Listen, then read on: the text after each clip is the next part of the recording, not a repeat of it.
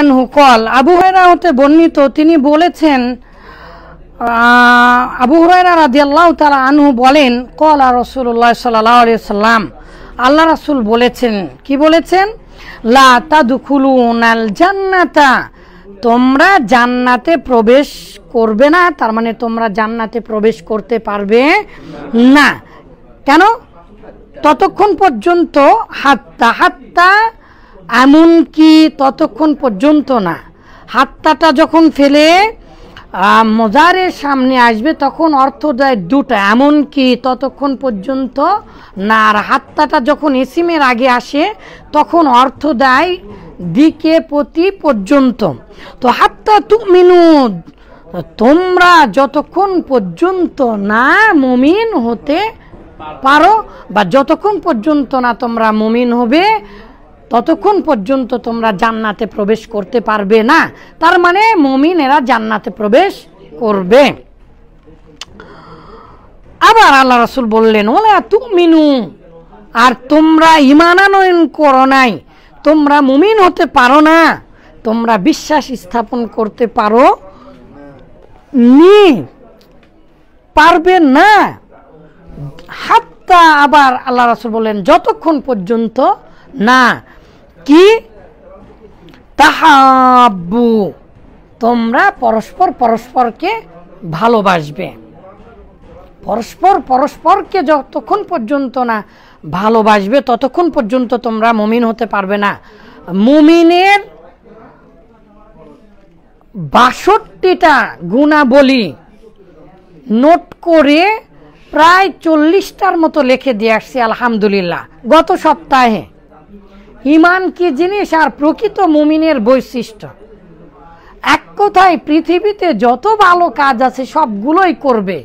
কিন্তু সুরা মুমিনের, সুরা মুমিনুনের মধ্যে, তারপরে সুরা সোয়ারার মধ্যে, আবার বাকারার মধ্যে মাইদার মধ্যে, আনামের মধ্যে, এই সুরাগুলোর মধ্যে এবং অসংখ্য হাদিসের মধ্যে মুমিনের বৈশিষ্ট্যগুলো আলোচনা করা হয়েছে।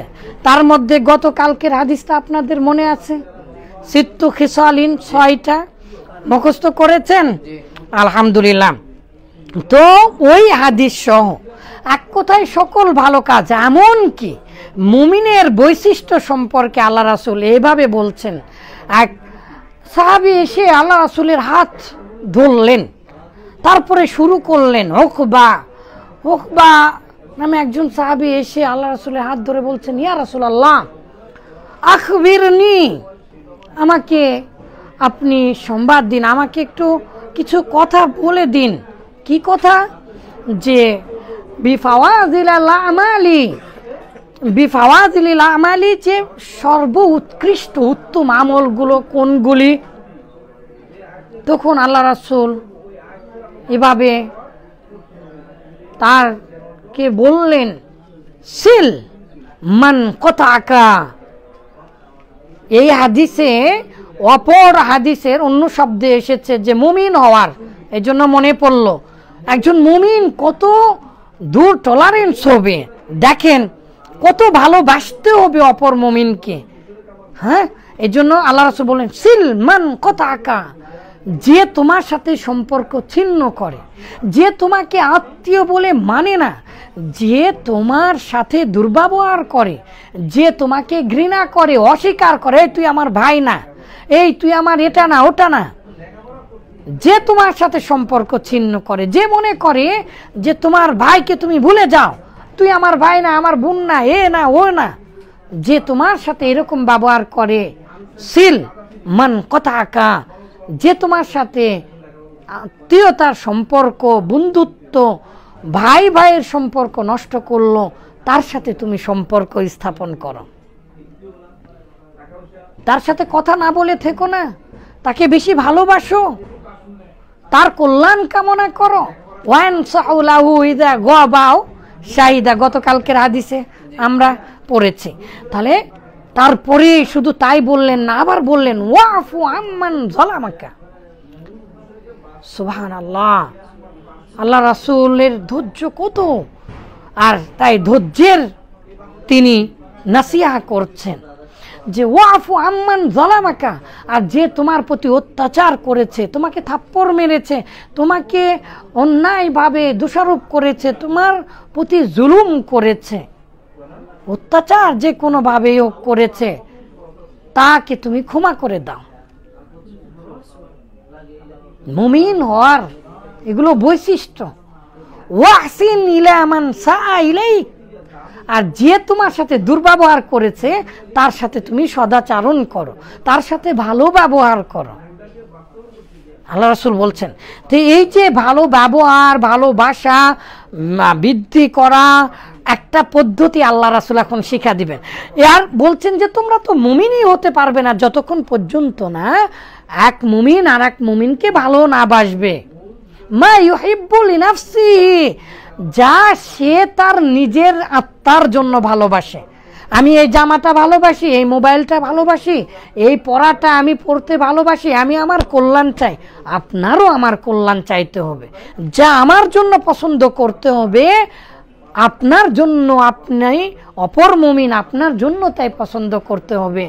আল্লাহ রসুল বলেছেন, লা ইউ মিনু লা ইউ মিনু আহাদুকুম। তোমাদের মধ্যে কেউ ইমানদার হতে পারে না। হাত্তা যে ইউহিব্বু মা লিনাফসি হাদিসটা কি আছে? সামান্য একটু। আচ্ছা যাই হোক, যতক্ষণ পর্যন্ত না তার বেশি ভালোবাসবে, হাওয়া হুতাবা আল্লিমাজি তুবি ইত্যাদি হাদিসগুলো এসেছে, তো তোমরা ততক্ষণ পর্যন্ত মুমিন হতে পারবে না, যতক্ষণ পর্যন্ত না পরস্পর ভালোবাসবে। তো মানুষে বলে না, চিরা কথায় মিষ্টি কথায় চিরা ভিজে?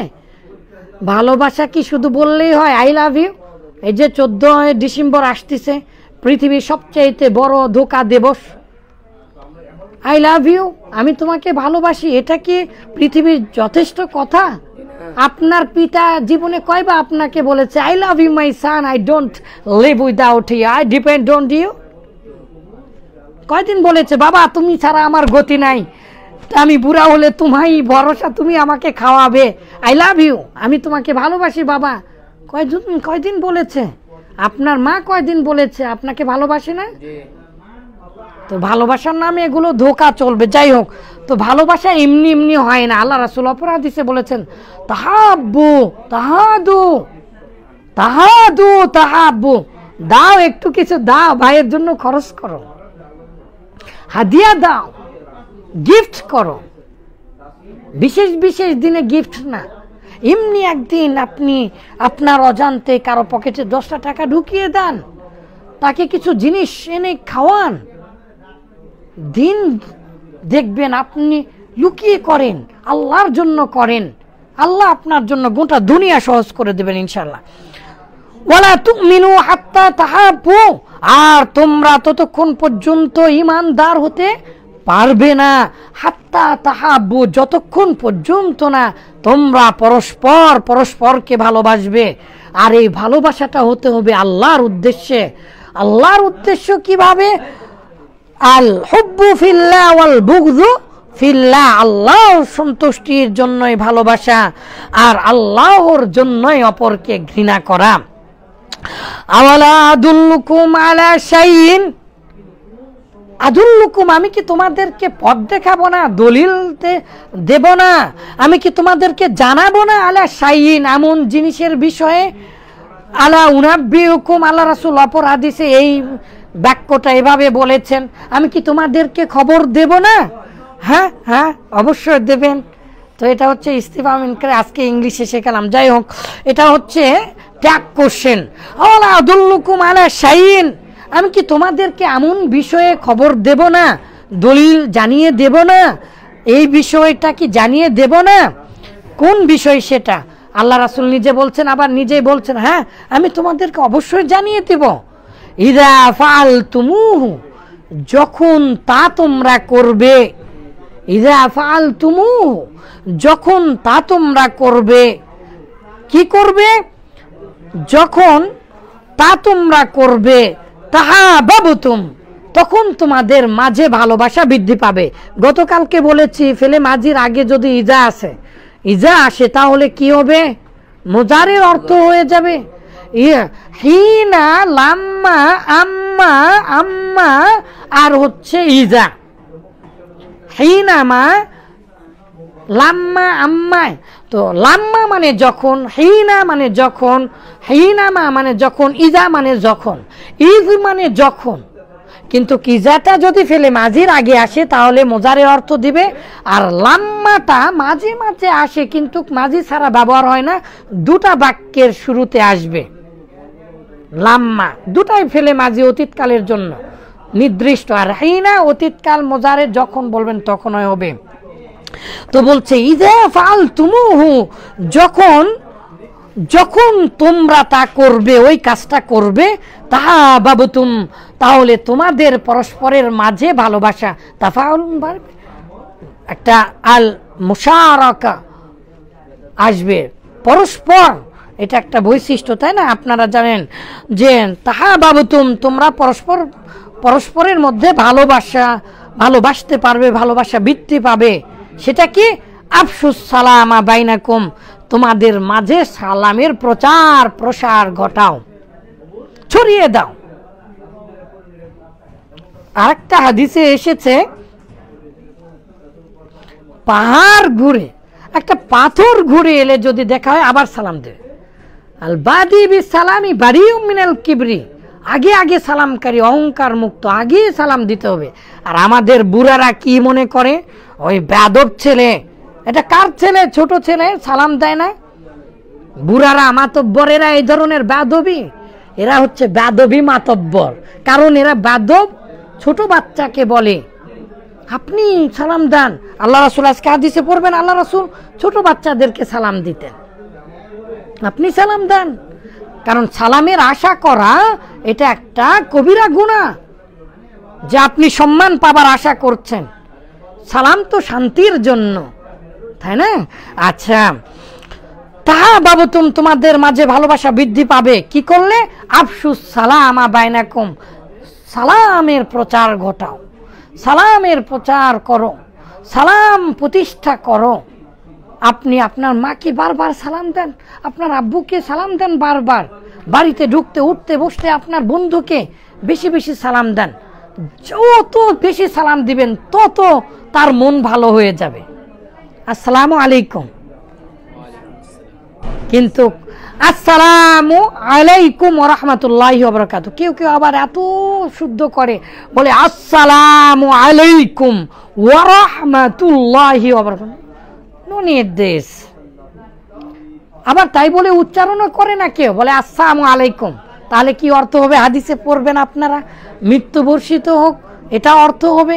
আবার কেউ বলে আসসালাম আলাইকুম, বলে একবারে একটা মালাই দিব মানে একটা থাপ্পড় দিব। আবার হাত দিয়ে সালাম দিয়ে পা দিয়ে তো লাথি মারে, এটা তো আন্তর্জাতিকভাবে স্বীকৃত সালাম, তাই না? কি জোরে পা দিয়ে মাথায়, হাত দিয়ে মাথায় এরকম করে সেলুট দেয়? আরে ভাই, পা দিয়ে জোরে লাথি মারিস কেন? তার মানে যে তোকে সম্মান করলাম, লাথিও দিলাম, সম্মান করলাম, লাথিও দিলাম। আবার তো বলে, অনেকেই বলে, সালাম আলাইকুম। মানে সালাম উল্লেখ কাম আস্তাফরুল্লাহ রবিম যাই হোক আপনাদেরকে একটু মজা দিলাম। আল্লাহ আমাদেরকে সাহায্য করুন। আল্লাহ রাসুল বলেছেন, সত্য কথা দিয়ে এটা এই কিতাবে আমরা পাবো। আল্লাহ রাসুলও মজা করতেন। তো আমাদের সালামের অবস্থা এরকম হয়েছে কিন্তু সালামটা হচ্ছে শান্তির অমীয় বাণী অমীয় সুধা। আপনি যখনই সালাম দিবেন, আপনার উপরে শান্তি বর্ষিত হবে। আপনার উপরে শান্তি বর্ষিত হতে থাকবে আল্লাহ রাসুল। লের এটা শিক্ষা এবং আল্লাহ তালা নিজে বলেছেন, যাও, সালাম দাও। ঠিক আছে না? আল্লাহ তালা শিক্ষা দিয়েছেন, আমরা দেখেছি। আদম আলিয়া সাল্লামকে মাশা আল্লাহ ওয়ানহু তার মানে আবু হুরাইরা হতে বর্ণিত, তিনি বলছেন, কল রসুল্লাহ সাল্লাহ সাল্লাম এবারে বিধান শেখাচ্ছেন ইউসাল্লিমুর রাকিবু আলাল মাসি যে আরোহণকারী, যে বাসে যাচ্ছে, রাইডেও প্লেনে চড়েছে বা বা ইয়েতে চড়েছে, তো যায়, ঘোড়ায় চড়ে আছে, হাতিতে চড়েছে, যে চলমান যে আরোহণ অবস্থায় আছে, সে সালাম দিবে। আলাল মাসি চলমান, পদচারী ব্যক্তিকে, পায়ে হাঁটা চলা ব্যক্তিকে। ওয়াল মাসি আলাল কয়েদি ওয়াল মাসি আর পদচারী ব্যক্তি, পায়ে হাঁটা চলা ব্যক্তি, আলাল কয়েদি বসা ব্যক্তিকে উপবেশন করা। জালাসে আজলুসু মানে বসা, সাধারণ বসা। কাদা কদ মানে হাঁটু গেড়ে বসা। এই যেভাবে বসা, হাঁটু গেড়ে বসে না, এভাবে হাদিস পড়ে। তো প্রকৃতপক্ষে ওভাবেই পড়ার নিয়ম। তো যাই হোক, আল্লাহ আমাদেরকে ক্ষমা করুন। তাই বলে চেয়ার টেবিলে পড়লে হবে না, এটা কিন্তু ভুল কথা। বরং আরও মজাও আছে। তো আল্লাহ আকবার ফতোয়ার দিকে না যাই। ওয়াল মাসি আলাল কয়েদি ওয়াল মাসি আলাল কয়েদি। এটা এইগুলো হাদিসগুলো মুখস্থ করতে হয়। এবং চলমান মানে পথচারী বা পায়ে হাঁটা চলা ব্যক্তি কি করবে? হাঁটু বড়া, বসা বা বসে থাকা ব্যক্তিকে সালাম দেবে। ওয়াল কলিলু আলাল কাসিরি। অল্প সংখ্যক মানুষ, বেশি সংখ্যক মানুষকে সালাম দিবে। এটা কি সালামের বিধান শেখাচ্ছে? মোত্তাফাকুন আলাইহি। বাবারে, এগুলো প্রত্যেকটা হাদিস থেকে ইস্তিকরাজ আবার ইস্তিমবাদ করা, আবার এই হাদিসগুলোর অর্থ করে দেওয়া আবার এই হাদিসের ব্যাখ্যা বিশ্লেষণ করা এত সময় আমাদের হাতে নেই, আমরা পাই না। তবে আমরা চেষ্টা করি এক্সট্রা সময় আমাদের পড়ে দেওয়ার জন্য। এগুলো প্রত্যেকটা হাদিস মুখস্থ করব ইনশাল্লাহ আমরা নিয়ত করেছি কিতাবু উল আদাবের সব হাদিসগুলো মুখস্থ করব, এগুলো জীবনের সাথে প্রয়োজন। ওয়ানু আবু হুরায়রা হতে বর্ণিত, কলা কলা সাল্লাম আল্লাহ রাসূল বলেছেন, ইউসাল্লিমুস সাগীরু ইসাল্লিমুস সাগীরু ছোটরা সালাম দেবে আলাল কাবিরি সম্মানিত ব্যক্তিকে। এটা একটা বিধান বলছেন ওয়াজিব নয়। কিন্তু বড়দেরও উচিত ছোটদেরকে সালাম দেওয়া কারণ আল্লাহ রাসুল একটু পরেই দেবেন সালাম। দেখেন ইসাল্লিমুস সগিরু ছোটরা সালাম দেবে আলাল কাবিরি বড়দেরকে। ওয়াল মারু আর পথচারী ব্যক্তি পথিক পথচারী ব্যক্তি সালাম দেবে আলাল কয়েদি বসে থাকা বা যে বসে আছে দোকানপাটে যাবার সময় তাকে সালাম দিবে। ওল কলিলু আলাল ক্যাসিরি রল বুখারি। আর অল্প সংখ্যক মানুষ, বেশি সংখ্যক মানুষকে সালাম দেবে। সবাই কি সালামের উত্তর নেবে? সবার সাথে কি মাসাফা করবে? মাসাফাহা করবে? মাসাফা কি দুই হাতে করবে? যখন যে হাদিস আসবে, আমরা বিস্তারিত ব্যাখ্যা সহ, ইনশাআল্লাহ প্রমাণ, আদিল্লা সহ, দলিল সহ আমরা উপস্থাপন করার চেষ্টা করব ইনশাআল্লাহ। ওয়ান আনাসিন রাদিয়াল্লাহু তাআলা আনহু কল আনাস রাদিয়াল্লাহু তাআলা আনহু আনাস ইবনু মালিক তিনি ছোট সাহাবী, তিনি দশ বছর আল্লাহ রাসূলের সাথে আল্লাহ রাসূলের সাথে ছিলেন, আল্লাহ রাসূলের সেবক ছিলেন। আনাস রাদিয়াল্লাহু তাআলা আনহু বলছেন, আল্লাহ রাসূল এই দশ বছরে আমাকে কোনোদিন ধমকও দেননি। সুবহান আল্লাহ আল্লাহ রাসূল কেমন ছিলেন? একবার কল্পনা করতে পারেন? আর আমরা চাকরির সাথে যত দুর্ব্যবহার না করলেই মনে হয় আমাদের একটা প্রেস্টিজ পাঞ্চার। হ্যাঁ? What what outlook of this society we have to change our narrow mind okay আমাদের এগুলো পরিবর্তন করতে হবে। আজকালকার মানুষের চাকরির সাথে এত মিল, বাড়িতে কাজ করে তার সাথে এত মিল। এই মানুষের খালি ছোট মানুষের সাথে চলাফেরা। এই মানুষের, নিম্ন মানুষের সাথে চলাফেরা। আরে রাজার গোলাম হওয়া ভালো, মন্ত্রীর উপদেষ্টা হওয়া ভালো না। কত ধরনের কথা, না? আল্লাহ রাসুল ছোট মানুষের মাধ্যমে আপনি আপনার অধীনস্থদেরকে কন্ট্রোল করতে গেলে অবশ্যই এটা করতে হবে। যাই হোক, আনাস রাদি আল্লাহ তালা আনু বলেছেন যে আল্লাহ রাসুল বলেছেন আন্না রসুল আল্লাহ কলা, পরে এসেছে ইন্না হবে। ইন্না রসুল আল্লাহ সাল্লাহ আল্লাহ রসুল মার্র আলা গিলমানিন, ছোট বাচ্চাদের পাশ দিয়ে অতিক্রম করলেন। ফাসাল্লামা আলাইহিম, আর আল্লাহ রসুল তাদেরকে সালাম দিলেন। মুত্তাফাকুন আলী বুখারি, মুসলিমের হাদিস। আজকে এই পর্যন্তই। এ- এই প্রত্যেকটা হাদিস আপনারা মুখস্থ করে আসবেন। ঠিক আছে? আল্লাহ আমাদেরকে সাহায্য করুন। আসসালাম